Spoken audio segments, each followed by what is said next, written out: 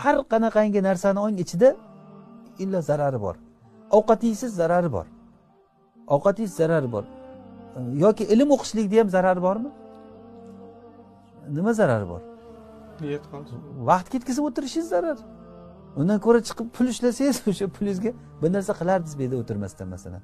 To'g'rimi? Bu ham bir e, zarar tomonlaridan ko'p narsalardan quruq qolib ketasiz. Hamma borib to'pi tepayotganda siz bu yerda qo'lingizga daftar ushlab o'tiribsiz zarar bu.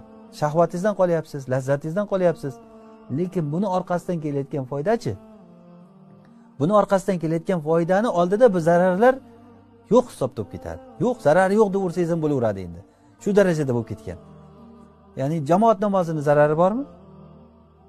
Jamoat namozini zarari bormi? Albatta zarari bor. Birinchidan vaqt ketadi. Sovuq sovuqda hamma kino ko'rib o'tirgan paytda kinoni qiziq joyi kelganda namoz masjidga borishingiz kerak masalan. Odam o'zini lazzatini tashlashligi zararmi? Bunday o'ylaganda zarar deganda nima alamlar va uni sabablari dedikku. Va xafachiliklar va uni sabablari.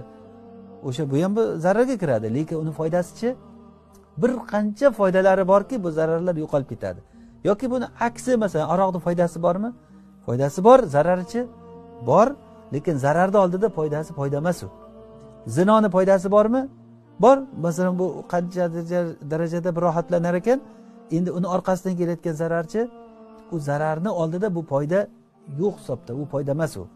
O'shaning uchun ham foyda deganda biz shar'iy ko'zoynak taqib qarasak foyda bo'lib ko'rinadi. Odamlar hatto hayvonlar ajratgan e, foydani ba'zan inson ajratolmay qolar ekan. Hayvon ajratiladi o'zini foydasini. O'zini foyda zarariga qarab ish qiladi hayvonlar. Lekin inson unday emas.